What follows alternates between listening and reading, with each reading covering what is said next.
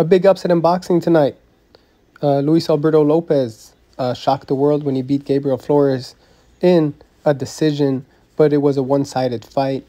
And a lot of controversy with this fight in boxing this time, not from the judges, but more from everyone watching. And I want to share with you reaction from this. Flores did take a beating. The question is, he did finish strong. He does have a lot of heart. And the question is, should the fight should have been stopped earlier? Here, what some people have to say. Check it out. So Shakur Stevenson of Boxing Champions own Rap, he says, um, Albert Bello, also boxing star, says, I respect his heart uh, for that 100. He said 100%, but they should have been stopped at.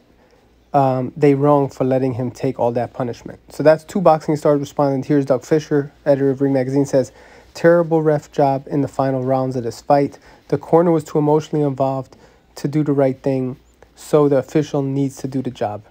Um, again, Gabriel Flores Sr., the dad, wanted to stop the fight in the ninth round, which was probably the right thing to do. But his son pleaded with him to go out to the 10th round and finish on his feet, which is courageous. But fight another day. It's okay to lose.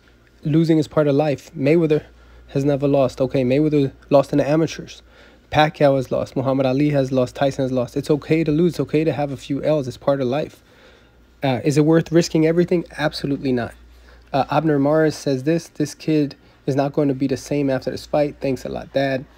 And there's a lot of comments online, very critical. I will say this with uh, about 15 seconds left in the fight, the dad told the commission in the corner to stop the fight. The commission guy jumps up, waves at the ref, and the ref didn't even see him, so he took an extra punishment for the last 10 seconds. So, um, definitely one of the debates in boxing when to stop a fight. Um, the ref should have stopped it. The kid was taking too much punishment without being able to win.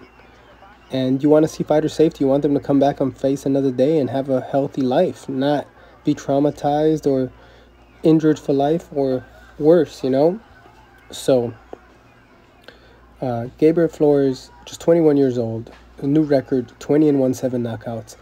Like I said, a loss is not the end of the world. Everyone that I know loses, whether it's in life or in boxing. Ellie Seckbach reporting.